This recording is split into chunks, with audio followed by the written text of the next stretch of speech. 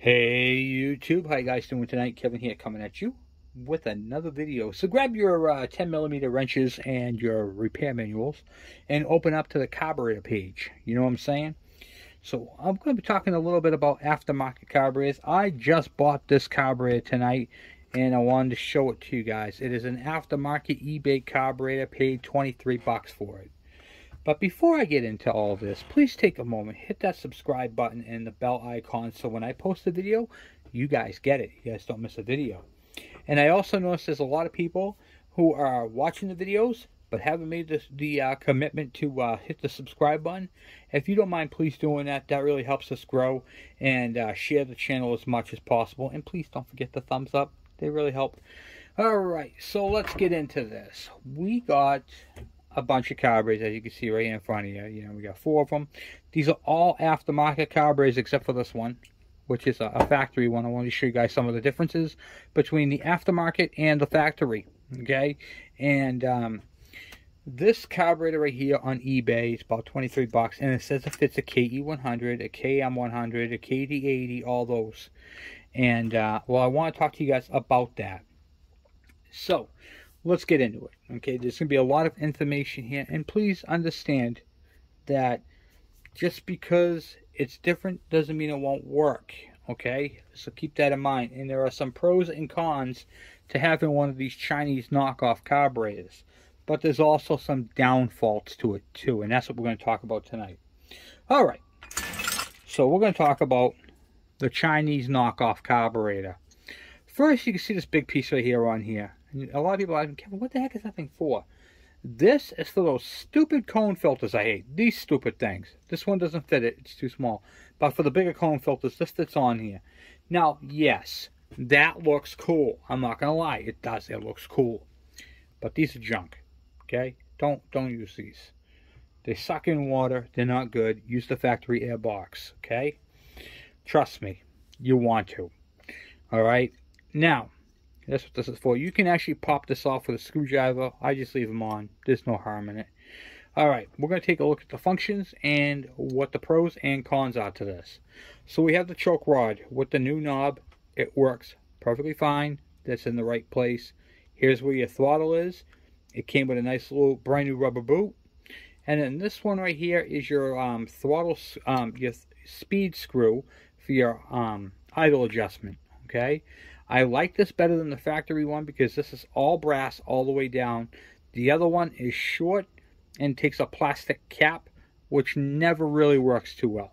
Okay, so kudos on the uh, the brass rod, and it's got this little um, piece here to hold it onto it. So this actually can come off that. All right, moving forward. So on the back, we flip it over. We have the, this black thing right here is called an insulator and this is the clamping device. So over here I have my intake for a rotary valve Kawasaki and it fits on there nice and tight which is awesome okay? So that's good. Now we're going to turn it on to the side. This one has the adjustment in the front. It doesn't really matter if it's on the front or on the side. This one happens to be in the front which is fine all right, we're going to flip it over on side, and now we have three ports. Now, on our Kawasaki KE100s, we only have the one. Well, the one is for the fuel, as is this one right here. Okay? This one is a vent. This gets vented to the atmosphere. You don't need to cap it. You don't need to do nothing with it. Just leave it alone. Some carburetors even come with a down tube. And they put that on there and it's, it's like that, and you know, it then back down bottom. It doesn't matter, honestly. This is, you don't need it. Okay, that one can be left alone. This third one has to be plugged. You have to put a vacuum cap on this little black one. A vacuum cap is a little cap, little rubber cap that slides over it. Why? Here is why. Because this one right here will suck air and it goes through and I'm going to see if I can show it to you guys real quick but if you look right up in here let me see here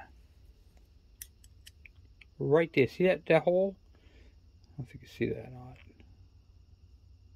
right there yeah you can see the hole okay So that hole is connected to here and it will suck air and cause it to overspeed, a lean condition. Um, it won't calm down when you rev up. It'll just keep racing and racing and racing. So you definitely need to plug with a vacuum cap this outer piece right here. Okay? It's a must. You have to do it. Um, what is that for? Well, I'll tell you what that's for. Certain bikes that this carburetor would also fit, because it doesn't just fit the Kawasaki's, if it's some Suzuki's, if it's some Yamahas. So what that is, that's where your oil line would hook up to for your oil injection. So it come off your oil pump, the line would come up and plug into here, and then the oil mix would come through with your fuel and air mix. Okay, and that's how the automatic mixer would happen. On the Kawasaki's, it's done through this port right here, and it goes through an injector nozzle right here, that brass tube. And you might notice the angle of the brass tube, it faces out this way. See how it's facing? What that does is as the rotary valve comes around, that right there lubricates the rotary valve because the rotary valve has to ride on a cushion of oil. If you premix these, the oil injection is not spraying it, it's just coming through this way, through the opening. And then the rotary valve is not going to get the adequate fuel, I mean, the adequate oil that it needs, the lubrication. This intake right here is my little one from my KV75 MT1 and the oil is injected through here and comes right into the intake. Sprays into the intake the same exact way that this port right here would do. This will not fit the KM, the uh, KV75 or the MT1. Alright, so there we have that part down. So, so far so good. Really the only danger using this carburetor is that black port right there. We got to plug that. Okay, now we're going to take the carburetor bowl off. I had already removed three of the screws. Now we're going to remove the fourth one so we can take a peeky and take a look inside and see what's going on. Okay. So in here, we have our plastic floats, which are nice. Um, there is some shininess on them because there's some aluminum flakes. So whenever you get a new carburetor, you want to take it apart and spray it down with carburetor cleaner and get all the machine um, debris left over from it. There is a lot of debris in these carburetors. You can feel it. It's gritty and it's inside there. You can actually kind of see some of the shininess on my finger. Okay. So you want to definitely spray these out. You don't want to just take them out of the package and bolt them onto your motor and think you're getting a good deal. Um, it doesn't work that way, unfortunately. So, couple things. The carburetor float adjustment on these is not the same as your Mikuni's. So if you get a bike and you're trying to go and adjust it and you look in your manual, oh, okay, it gets adjusted this way. It is not the same as the Mikuni. These right here are basically straight. See this line on the float? It's like a, hold on, see if I can do it this way. There's like a, a plastic seam line. You basically want to make sure it's parallel with the base. So it's right here. Okay. And you want to make sure it's parallel with the base. That's all. Um, that's basically the way they design them and the way they build them. So there's no specialty um, adjustment like like you'd find on a KE100. Just because it's for the bike doesn't make it the same. Okay, it is not the same. The other problem with this carburetor is you don't know what these jets are.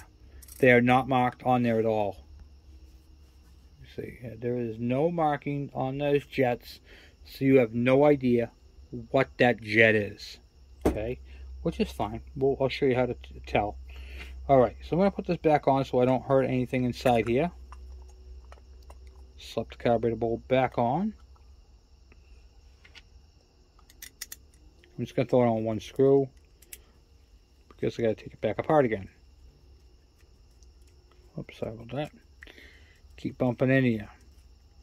One of the cool things about this carburetor is its drain. It comes with a tube on there, a little red tube. This comes. This is how it comes on in the box or the package, okay? Comes like that. And then this way here is supposed to run out to the ground. And then when you need to drain your carburetor bowl, you loosen up this screw and the fuel flows out the carburetor bowl. That is nice, but there's a little problem with that. You can't use that rubber insulator, this, on the bottom of your carburetors that go on our KEs. It just won't work. So what you're going to have to do is you're going to have to plug this. Okay, so what you're going to do is you're going to take a uh, an electric hot glue gun, one of these, and you're going to fill it up. Okay, and then you're probably end up tipping it over and pushing it in that way. See if it'll fit that way. Okay, because you want to plug it. You don't want to leave this open because this way here can cause air to seep in, water, and then you'll end up with a lean condition. Okay, so we don't want that. We're trying to avoid a lean condition. All right, so and this right here, if you don't plug that, that'll be a lean condition as well. All right, so we're going there. Now, what are some of the pros to this thing? Well, one of the pros is we have a screw here to drain the carburetor bowl, which is really nice when you go to put these bikes away for the season. Unfortunately, on my bikes, I have to pull all the bowls down except for uh, the KE102, which has a modified bowl. Okay, now let's take a look at the, uh, the throttle. Screw that, slide this out. And right off the bat, I noticed that the taper of this needle is a lot thinner at the bottom than ours. It's really tapered. I mean, it, it comes, it's more drastic than the, um, the KE100. This is good. This is a nice performance needle. Um, the thinner the needle down bottom to the fatter, that's going to give you a better, a better, um, what do you call it there, flow of fuel. If you can use a thinner needle, that's the way to go. All right, so let's take a look at the this is one, sorry about that. This is one from a KE100 and they are the same diameter, okay, which is awesome. So we're not losing any um, area, if you will. Now we're going to take the carburetor. This is the Mikuni carburetor that comes factory on the bikes. And I'm going to use my finger. I'm going to show you this. Okay. That's as far as my finger can go in there. Alright and it gets stuck. So right up to my knuckle, right there. Now, that's tight, okay? That's it. This one, right here, watch this, we're to watch over here. How far I can go? I can bury my, my finger almost all the way in there, okay? What does that mean? That means that this right here, this carburetor is going to flow more CFM. It's going to flow more air through it all right, which is awesome. That's what we want. We want to use maximum air. Also, the Venturi side of this, which is right here, you can see how nice that wall is, how smooth it is, how contoured it is all the way around.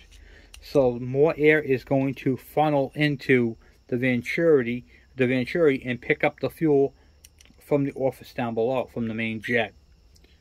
With the um, nice needle, the thin needle, is going to give a better acceleration and a, uh, a better top end. Okay? When this hole right here is wider, it's using more of the slide. So as opposed to using this section right here, the slide, it's using more of the slide. And that's right there is what you want. You want to have more air flowing through. Now, to accommodate that air flowing through, you need to have a good sized jet. More air flowing through gives you more power. But we don't know what this main jet is. So what you're going to have to do is you're going to have to find a way to measure the size of the jet because it is not marked at all. There's no paperwork. In fact, here's the bag that came in it. There's nothing in the box other than this bag. All right. How do we know how big the jet is? How can we identify it? I'm going to show you guys how I do it. There are different ways of doing it, but I'm going to show you how I do it. Okay. Alright, so I'm going to show you guys how I do it, which I've already, I just did this off camera because it was going to take too long, so I wanted to show you. So I have a set of drill bits here. Now these are not regular drill bits, okay? These are not regular drill bits. These are wire gauge drill bits. And you can see how they're numbered, okay? They're numbered just like that for wire gauges. And they, the smallest gauge is 60. So they're backwards. So the, the bigger the number, the smaller the, uh, smaller the uh, wire size, the bigger the number, the, um, I mean, yeah, you know what I mean. So the smaller the number, the thicker it is, okay? It's backwards, okay? Now, but that said, we don't know what jet size came in this. So you can see that I got a drill bit. I got the back end of it sticking out. And I put this in. This is 60. And it's kind of loose, okay? So I can go up and go to a 59 drill bit. That is not the size of the jet, by the way. That is just the wire size coming through on this. I'll use my little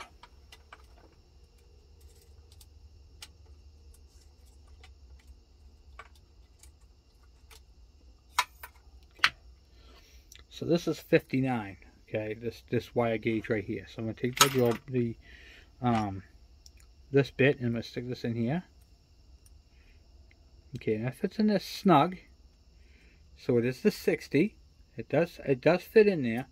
So it's like a like a, if there was a 60 uh 59.5 that would be the right size, okay?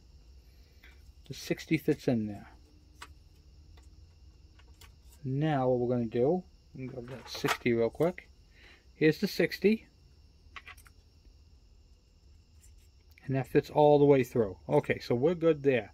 Now we know what size it is. And now we're going to take a Mikuni jet. This is actually off of a different bike, but I'm using it as an example. This is actually bigger than what we use in our bikes. This is a 95, okay?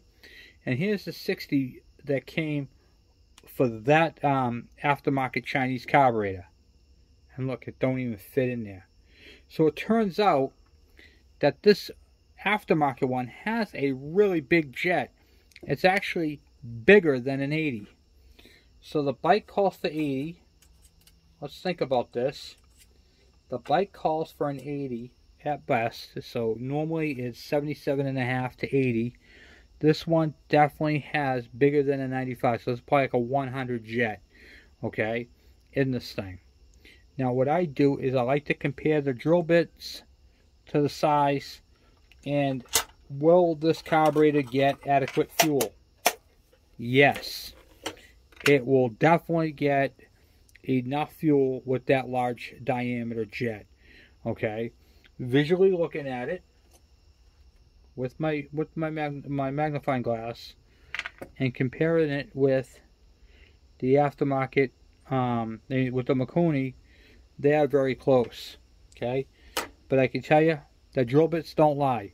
I couldn't put the 60 through here, so this 95 is definitely smaller than this one right here. So this got to be like a 98 or a 100 jet, which I'm perfectly fine with. Okay, so we know that the jet is fine that the jet is adequate enough and we have sufficient airflow through. We have a better needle. So we got some, uh, we actually have a pretty decent carburetor right here. This thing's going to add some performance to this bike. I do have to clean it. I have not cleaned it yet. But I wanted to show it off to you guys. I wanted to show you guys what I got. And the pros and the cons to run this carburetor on a bike.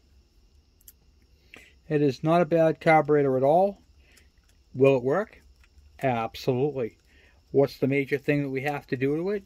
We have to clean it first, and we have to cap that little black piece right there. And other than that, this carburetor here is going to be just fine on the bike. We just want to make sure that we have adequate fuel flow to it, because with a big jet and a small bowl, that's kind of one of the, the downfalls to it. The one of the cons is the smaller bowl. But um, yeah, this is going to be quite nicely, quite nice on this bike. So this is the bike motor uh, carburetor we're going to use for testing. We're going to try this thing out. We're going to put it through its paces and see what it can do. And then I actually have an engine for this to go on. That's actually going to, I hate to say it, is going to use one of those cone filters I absolutely hate. but it's not going to be used for that application, so I'll show you. Alright, so there's the carburetor. We have the same diameter slide, but we have a bigger opening here, okay? So that's a bonus. That's one positive. It comes with a big jet in it. That's another bonus. The clamp is very adequate. It has a seal on the inside and a good insulator on the back side. Um, and all the cables and everything are in the same spot. And it has a more narrower um, fuel metering rod. So this this carburetor, guys, it's got some pretty good stuff. I want to show you guys another style um, metering rod right here. You can see this one. You can see how thin this one goes. This one goes really thin. This is for a Yamaha Banshee two-stroke. Okay, this is a performance a performance needle. Um, and this one right here is pretty close to that performance needle. I mean, they are close. So, this one is for a, uh, a Yamaha Banshee. Okay. And this one right here is for a KE100. So this thing's going to go, this thing's going to have some speed to it, guys. It's going to definitely add some airflow to it, which is what we want. And it's going to add some power. I think we're going to have to do some modifications. But I don't think it's going to be bad. So we're going to test this carburetor and see what it can do. Well, I wanted to show you guys that. Don't be intimidated. There's all kinds of carburetors out there. This is another style right here where it comes off the front, clamp style in the back, but it has a style choke. Here's the key. If you do come across something like this, you can literally pull this choke out with a uh, 12 millimeter wrench. This setup will come off and then you can just add your old setup to it. It'll work right onto it, no problem. If you end up with this style carburetor, okay, the vent is right here. See this, this brass tube? You don't have to block it or anything like that, but there's a hole. See the hole right there? That's where it vents out of. Okay, same thing. It's got the adjustment on the side. This is your idle speed screw because it's not up top. So you're going to have to, you know, deal with that part of it. This is different same style, uh, we call it, their floats and, and jets. I don't know what size jet this is, but I mean, it's got basically the same thing, you know. These carburetors are all pretty close. You just have to take your time and look and see what you're getting. Um, sorry about that. I had to put my little guy to bed. So, basically what I'm saying is, when you're buying a carburetor that says it's for your application, take a really close look at it and always compare it to factory. If you can get a factory carburetor, obviously this is going to be OEM, it's going to be the best. Okay? But for a good alternative that has the potential, doesn't mean it's going to, just because it has some good features to it, doesn't mean it's going to give you more power. Okay? It has the ability to give you more power. So we're going to try that out and see how this thing does and how it performs. And uh, yeah, I'm quite happy with it. We're going to put, like I said, we're going to put a vacuum plug on that and uh, get that plugged up. And then once that's plugged up right there, then we'll be able to use this carburetor on a KE100 um, or KM or KD. You can put these, if you want to put that down tube on there, you absolutely could. Some people like the look of it. It really doesn't really matter. But um, one of the things I find with the down tube is it stops dirt from going directly into it. So um, these do help a little bit. This tube right here will not be used. We don't need that. And we got to plug up this one here, which is the most important thing. Alright, so we got a little vacuum cap here. Pop that right on there like so. Yeah. Now that's blocked off. And this will work just fine. Like I said, that's for an automatic oiler. Um, oil injection units. Um, not to be modified with yours, but that right there would work with the uh, some of the Suzuki and the Yamahas. So that's good right there. That's all set. This carburetor here is good. I gotta throw the screws on, clean it, and uh, I can go ahead and put this into the into the bike, to the motor, and having a nice um, Nice rod there, which is cool. And I'm just going to spray this whole thing down, take the bowl back off, clean it all out with carburetor cleaner, and this will work just just fine on that bike. Onto that motor. And there we go. Brand new carburetor all set. Just gotta like I said wash it out. And it's got some it'll have some performance gains to it which is nice. It has it features the drain a bigger throttle opening so it can flow more air. Big jet. This is going to go pretty darn good I think.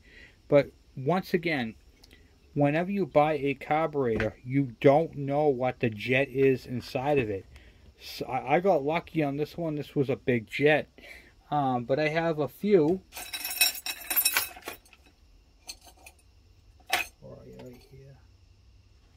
that have a really small jet. And this came on a carburetor like this, where it should have had a big jet in it, and it actually had a very small jet. So once again, you don't know what they come with because they're not listed. It's not in the paperwork. It's not online. There is no information on this carburetor.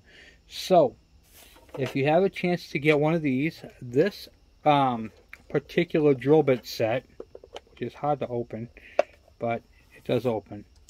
This particular drill bit set is called a wire gauge drill bit set. And the numbers are backwards. So the smaller the number, the bigger it is. The bigger the number, the smaller it is.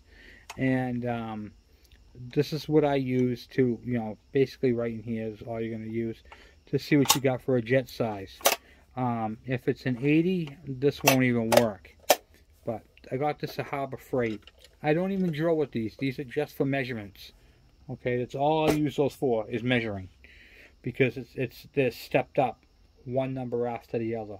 It's the most accurate way to do that. So um, yeah, so that's how I do that. So if you're gonna get one of these carburetors, go ahead and get one. Um, I, I would recommend it. We're gonna see what it does for performance and you'll be able to see for yourself. And just remember to block, oops sorry, just remember to block off that nipple. You don't need to use one of these, but if you do, it will help with the dirt. And um, that's pretty much it. This um, housing right here does come off. You can just pry it off at the bottom with a screwdriver. Just work it back and forth a little bit, and you'll be able to pry this off. This right here is literally just a cone filter mount.